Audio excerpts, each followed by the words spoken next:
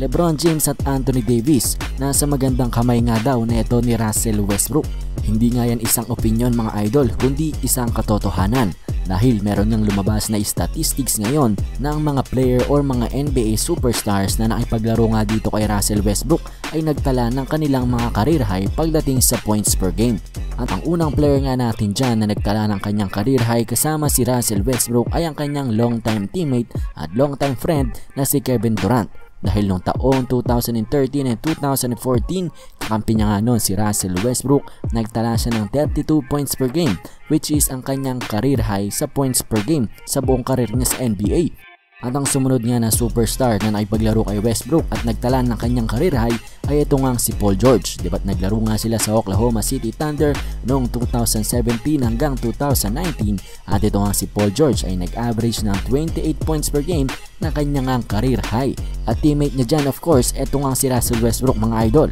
At ang panghuli nga ay ito nga si Bradley Bill dahil last season lamang itong si Bradley Bill ay nagtala ng 31.3 points per game na kanyang career high average sa buo niyang 9 seasons na paglalaro sa NBA.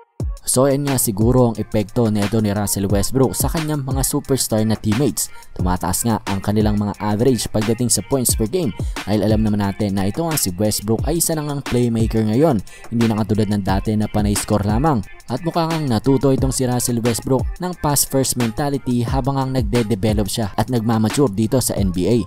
So maari nga nating tawagin niyang the Westbrook effect. At sa tingin ko nga mga idol, ang pagpunta nito ni Russell Westbrook dito sa Los Angeles Lakers, si Anthony Davis talaga ang makikinabang ng sobra-sobra dyan. Dahil dalawa na nga ang kanyang playmaker, hindi na lamang si Lebron James. Kapag naupo si Lebron, may Russell Westbrook pang papasa sa kanya. So sa tingin ko nga ay matutuwa lalo itong si Anthony Davis at baka nga rin mag-average siya ng kanyang career high ngayong upcoming season na ito. At baka nga din, kagaya nga rin ng ginawang prediksyon ni Kendrick Perkins na si AD daw ang magiging MVP sa parating na season na ito. So abangan nga natin guys kung ito bang Russell Westbrook effect ay magiging effective dito nga sa kanyang mga teammate na si Lebron at lalong lalo na dito kay Anthony Davis. At nandito nga rin para sa ating next balita, ang pinakamatandang NBA player ngayon. Nag-sign nga ng kontrata sa team ng Miami Heat. Yan nga ay walang iba kundi ang veteranong veterano na si Udonis Haslem. Nag-sign nga siya ng 1-year deal dito sa Miami Heat na may halagang 2.6 milyon. At sa signing niya nga yan ay nagbigay na sa kanya ng titulo na pinakamatandang NBA player dahil ang edad nga nito mga idol, si Adonis Haslem ay 41 years old na. So congratulations nga dito sa Heat legend na si Yodonis Haslem at sa kanyang titulong pinakamatandang NBA player. At sa ating huling balita nga guys, kapatid ni Giannis Antetokounmpo na si Thanasis Antetokounmpo ay nag-sign ng 2-year deal para nga bumalik sa kanyang team na Milwaukee Bucks. At mukhang sasabayan niya nga ng taon itong si Giannis Antetokounmpo dito sa Milwaukee Bucks. Hanggat nandyan si Giannis, nandyan din si Thanasis. So well deserved nga yan para dito sa kapatid ni Yanis dahil siya nga ang parang energy guy ng Milwaukee Bucks at taga-motivate at taga-hype ng mga player.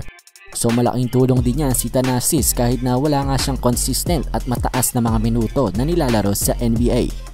So yun nga mga idol para sa ating mga balitang NBA ngayon, maraming ang salamat sa inyong panonood. Kung nagustuhan nyo ang ating video, make sure to like the video and if you not subscribe, syempre mag-subscribe na dahil everyday para tayo mga NBA updates. So yun lamang, see you guys next video. Bye!